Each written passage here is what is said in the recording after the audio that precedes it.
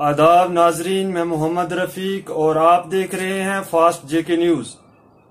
नाजरीन, हमारे मसाइल और मुझे कुछ कहना है, प्रोग्राम में आपका खैर मकदम है। नाजरीन, आइए रुख करते हैं, हमारे जो मेहमान हमसे जुड़ चुके हैं, उनकी तरफ़। जी, अपना तारुफ करवाएँ और बताएँ, आप हमारे प्रोग्राम के माध्यम से क्या कहना चाहते हैं? असलकुम मेरा नाम नदीम वाली मैं बनहाल से हूँ। तो हमारा जो आपने जो सवाल पूछा कि आपके मसाइल क्या है सबसे पहले मैं आपको बोलूँ ये कि बनहाल में बहुत से मसाइल हैं और जो सबसे बड़ा मसला जो है वो ट्रेन का है।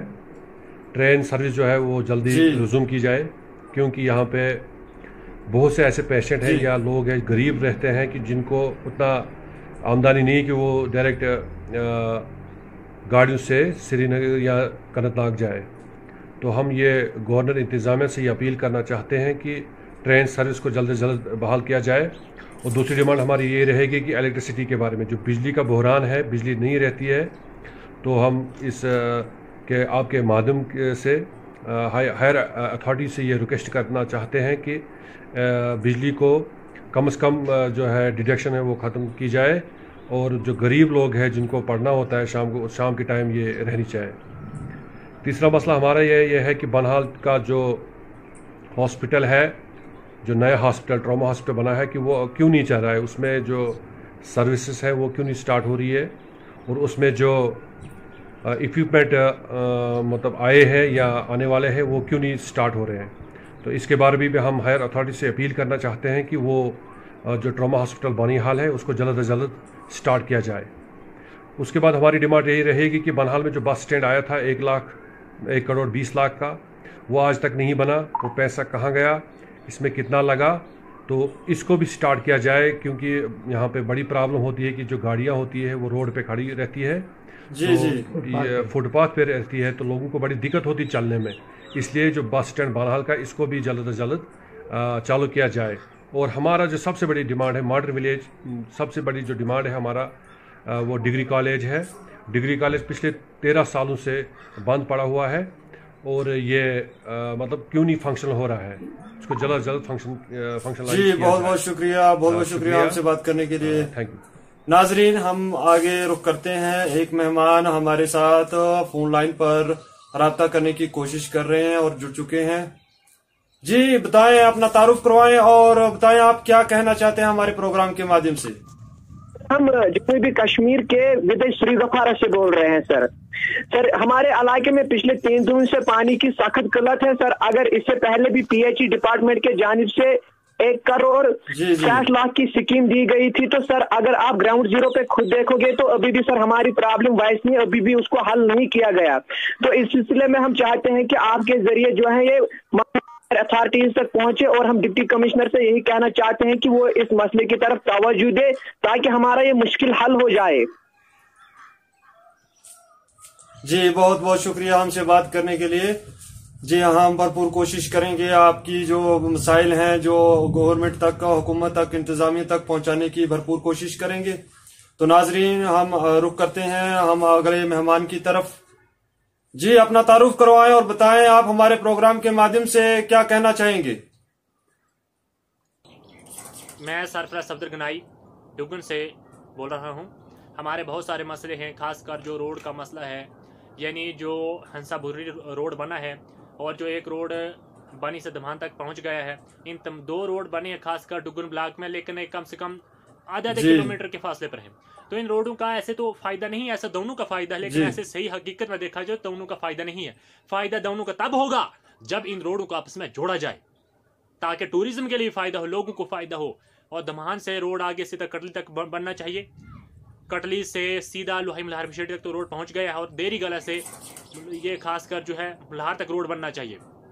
और मल्हार से बदनौता लोहाई मल्हार मिशेटी तक ये जो है रोड आपस में बनना चाहिए ताकि खनैट तक ये रोड पहुँचे। और जो है कमलोग से कमलोग तक सरोला तक ये रोड बनना चाहिए खासकर और सरोला से आगे तक ये रोड टच होना चाहिए ताकि टूरिज़्म के लिए फ़ायदा हो लोगों को भी फ़ायदा हो। जी। और इस खासकर जो है आज के दौर में बिजली कम से कम बहुत सिंगल है जो पीडी डिपार्टमेंट से हमारी यही डिमांड है। खासकर जो बिजली एक तो हमारे लोग गरीब लोग हैं बिल अदा करते हर महीने देती है लेकिन ये एक तरफ़ बल्ब को जलाते हैं बल्ब चलता है दूसरी तरफ़ जो लोग दिया का इस्तेमाल करते हैं यानी इतनी बिजली सिंगल है।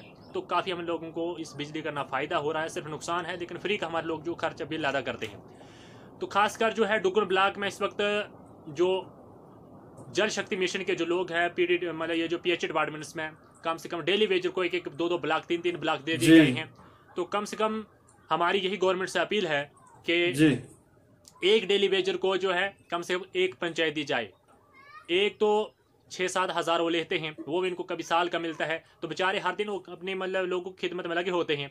रात ना देखते हैं, ना देखते हैं दिन वो तो जो मतलब सरकारी मुलाजम है, जो परमानेंट मुलाजम है, वो कभी आते नहीं हैं। तो हमारी यही डिमांड है कि कम से कम जो है खास कर जो है तमाम डुगन ब्लॉक के जो जितने भी इलाके हैं, पानी की बड़ी समस्या रहती है तो हमारी यही गवर्नमेंट से अपील है कि खास कर जो पी डिपार्टमेंट है, इन इन तमाम इनके आला फ़ीस से हमारी यही डिमांड है।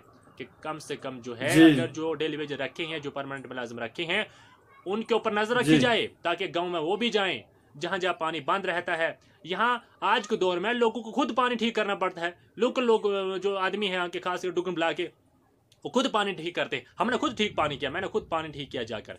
तो ये सबसे बड़ी परेशानी है जो डेली वेजर हैं या सरकारी मुलाजम है परमानेंट जो मुलाजम है वो कभी आते नहीं है। बेचारे डेली वेजर को दो दो तीन तीन मैं पहले बता चूँगा दो दो तीन तीन ब्लॉक दिए गए हैं। ये सबसे बड़ी परेशानी है ये सबसे बड़ा एक बेइंसाफ़ी हो रही है खासकर डेली वेजर से।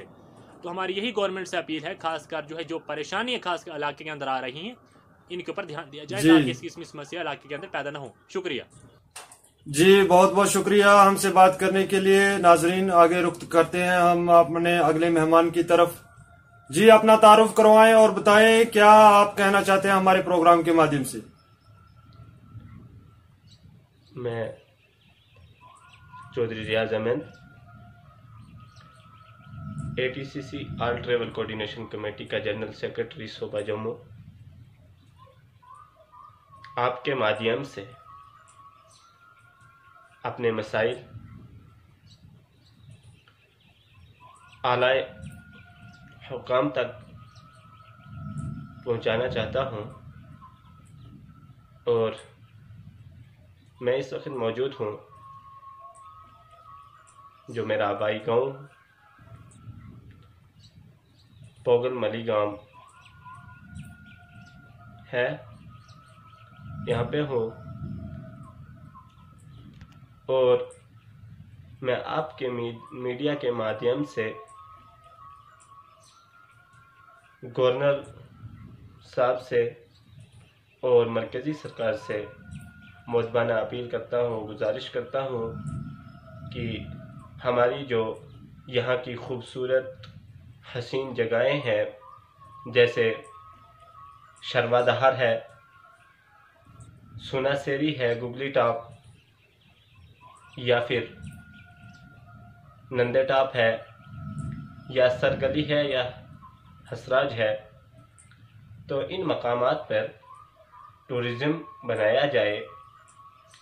और यहाँ पर दूर दूर से लोग आकर, सियाह लोग आकर यहाँ पर लुत्फ़अंदोज़ हों और इन खूबसूरत, हसीन जगहों का नज़ारा करें। तो मैं मुतबना गुजारिश करता हूँ सबसे पहले आपके मीडिया के माध्यम से कि यहाँ की इन जगहों को सियाही नक्श पर लाया जाए, सियाहती नक्श पर लाया जाए और यहाँ पर टूरिज़्म बनाया जाए इन जगहों पे। दूसरा रहा सवाल कि हमारे यहाँ के जो लोग हैं,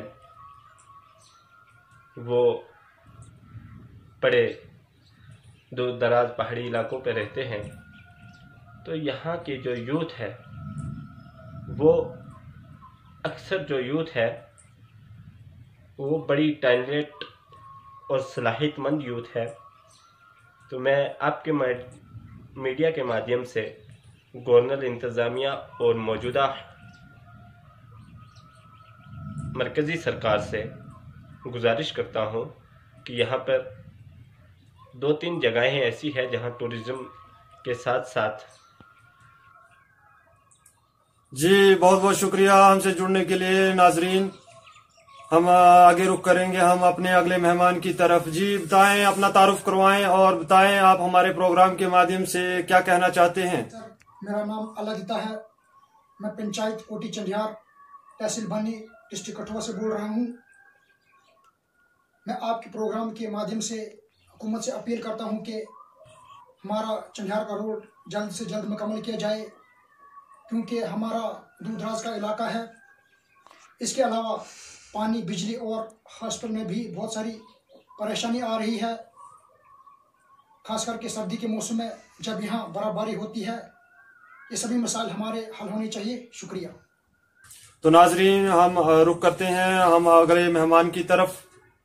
जी अपना तारुफ करवाएँ और बताएँ आप हमारे प्रोग्राम के माध्यम से क्या कहना चाहेंगे? तो मैं सबसे पहले आपके माध्यम से ये कहना चाहता हूँ जैसे कि मैं चौधरी मोहम्मद रफीक पंचायत बिंगारा डिस्ट्रिक्ट रामन से हूँ। तो आप सभी जानते हैं कि यहाँ एक हिली एरिया है पहाड़ी एरिया है। तो यहाँ एक हमारी पंचायत जो बहुत बड़ी लार्जेस्ट पंचायत है, यहाँ पे दो बड़ी मुश्किलात का सामना हर हमेशा हमें करना पड़ता है। सबसे पहले ये है कि आधार कार्ड जो कल परसों से या पिछले दिनों नफसा ने, सेंट्रल गवर्नमेंट ने एक स्कीम लॉन्च की गई है कि विदाउट आधार किसी भी शख्स को जो है राशन नीम दी जाएगी, वो राशन कार्ड से उनको जो हटा दिया जाएगा डिलीट कर दिया जाएगा। और इस अफरा तफरी में लोग तकरीबन पिछले एक महीने से पड़े हुए हैं। और पिछले एक महीने से लोग कभी दर दर दर की ठोकरें या हमारे मकरकोट में या रामबन में जाके अपना एनरोलमेंट करवाना चाहते हैं। तो मैं डीसी साहब से या अपने तहसील इंतजामिया से ये पुरजोर अपील करता हूँ कि एक आधार सेंटर हमारे जो यहाँ पिंगलोगा पंचायत में दिया जाए, जिसमें हमारी दो पंचायतें आती हैं। एक तो पंचायत भिंगारा है, दूसरी हमारी पंचायत पिंगलोगा है। दूसरी मेरा ये मसाइल है यहाँ की आवाम को कि आजकल का जो दौर है बहुत ही फॉरवर्ड दौर था लेकिन हमारा जो पंचायत का एरिया है बेकोट की तरफ़ इस तरह पड़ा हुआ है, क्योंकि यहाँ पे रोड की कोई कनेक्टिविटी नहीं है। अगरचे PW D R N B या ने पिछले दिनों पीएमजीएसवाई की रोड जो है एक उखड़ाल टू बिंगारा तक की थी, लेकिन फ़िलहाल अभी वो इनकम्प्लीट है कंप्लीट नहीं हुई है। तो दूसरा मसला ये है कि हमारी पंचायत बहुत बड़ी है। मैं गवर्नर इंतजामिया से ये अपील करना चाहता हूँ कि हमें एक जो है रोड, लिंक रोड जो है बावनाल टू नौगांव, दल विया दल पिरा कर दिया जाए ताकि हमारी जो बड़ी पंचायत है, इसका आधा हिस्सा जो है, वो इस रास्ते से रोड के साथ कनेक्ट किया जाए।